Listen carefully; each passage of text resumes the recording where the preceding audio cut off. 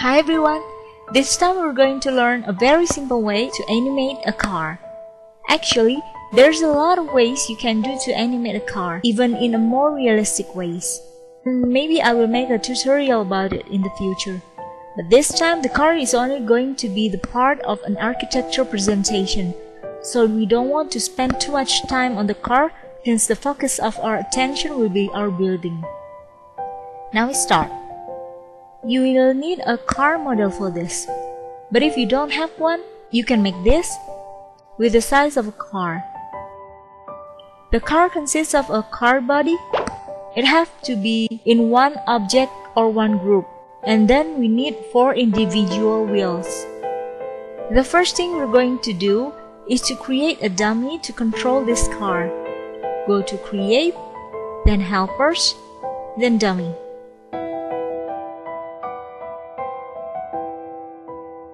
Align it to the X center of the car.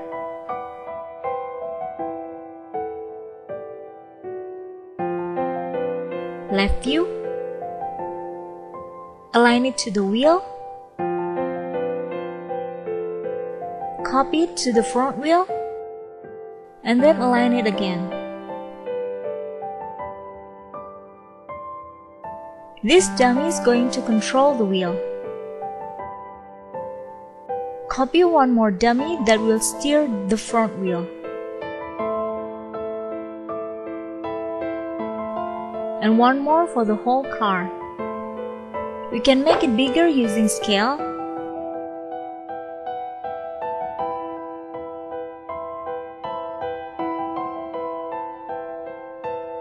Then align it to the center of the car.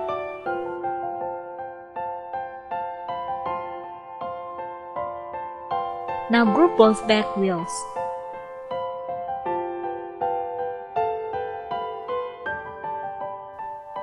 Then we're going to give the animation controls.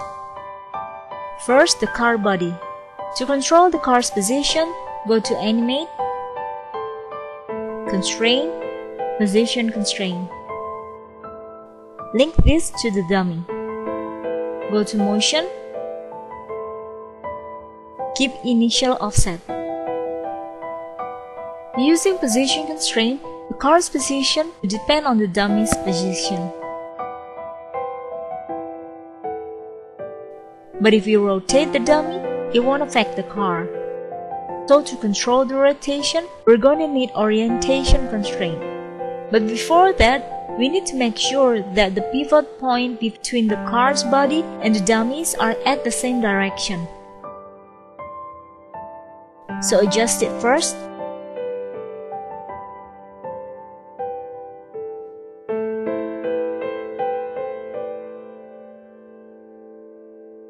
Use the rotation, right click, minus 90.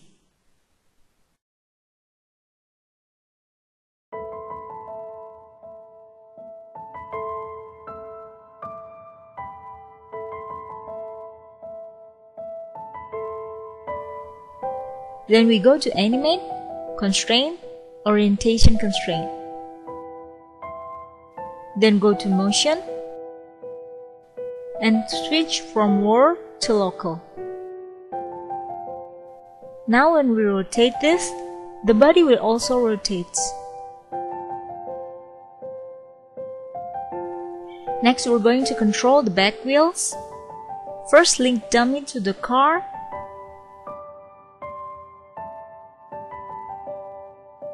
Then also link the wheels to the car.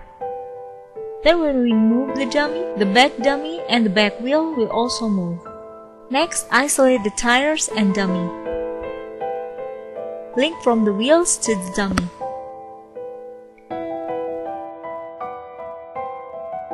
Now if we rotate the dummy, the wheels will follow.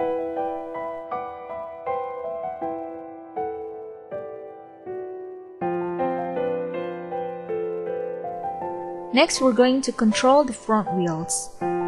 Link the dummy to the car's body.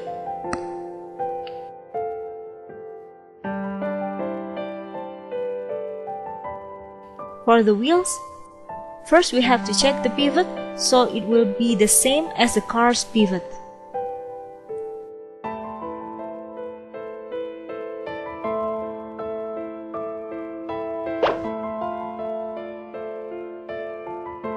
We can see here that it's on the opposite direction. So we need to rotate it.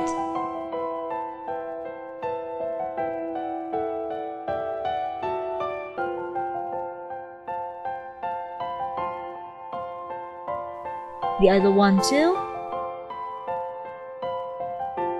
Now the middle axis of the wheels, the red one, has to be on the opposite direction to each other. So we're going to mirror it. And then rotate the objects.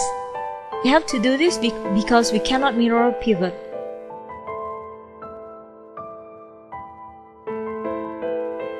Now link the wheels to the car's body.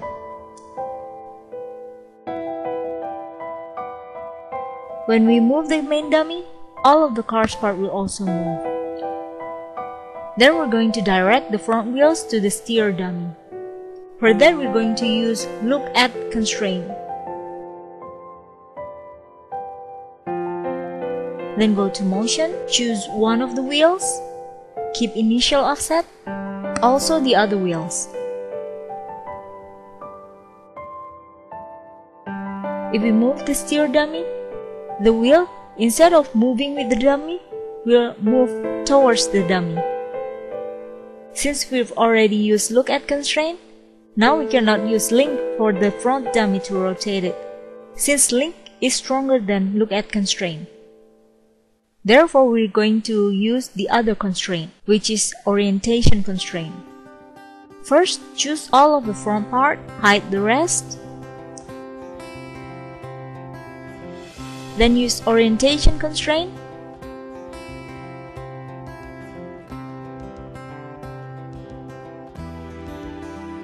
Go to motion.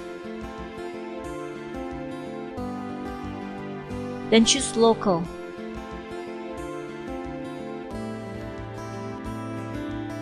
Then rotate it. Okay?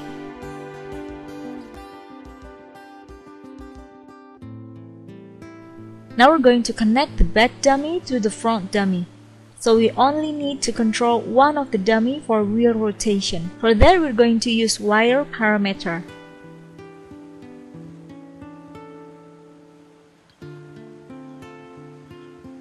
Look at the left side to choose which axis that we're going to rotate. In this case, we're going to rotate to X.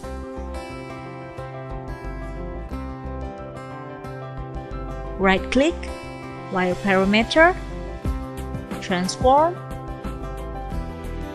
X rotation, and the same for the other dummy.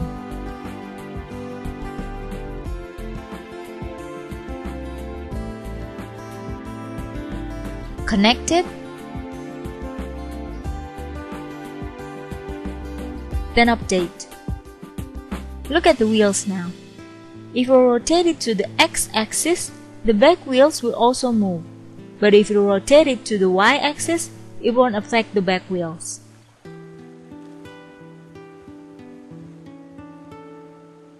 Now your car is ready to be animated. I've prepared a path line here so the car will also move along this path.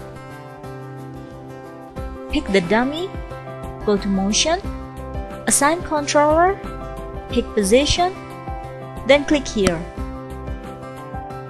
Pick path constraint. OK. Then add path. Pick line. Click follow. Y. Then flip. Do the same to the dummy.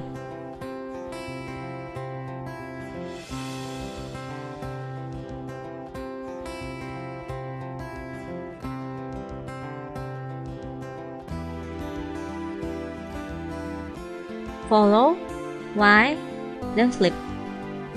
Right click on the outside. Pick only the dummy.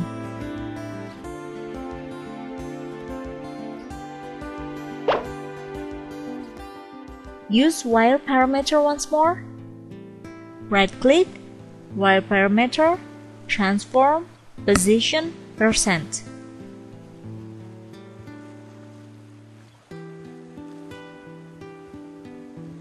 Now we can add the position of the steer dummy. For your car, you probably have to add the percent on the right. It depends on the master.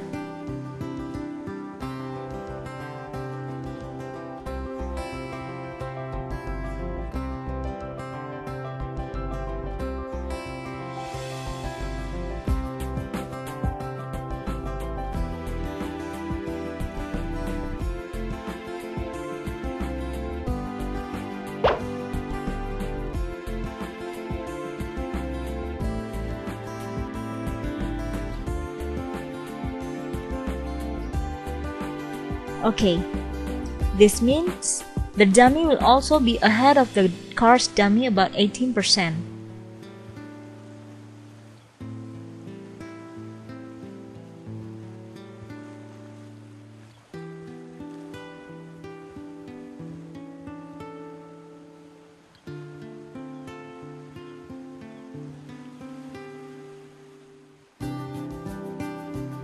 Play animation.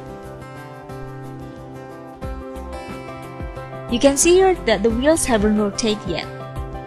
So stop the animation, go to 0.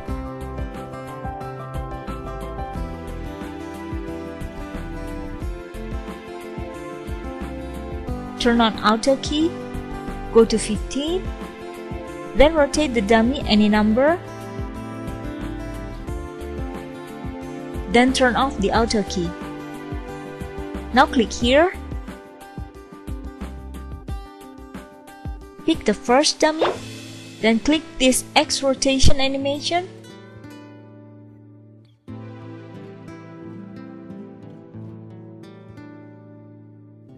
Change the number to 360. Click on the outside, then back again. To make the movement smoother, we can use linear.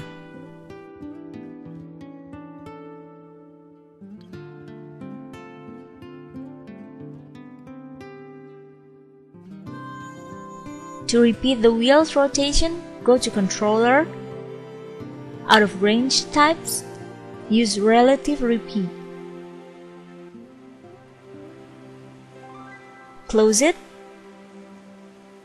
Play animation. Now your car is ready.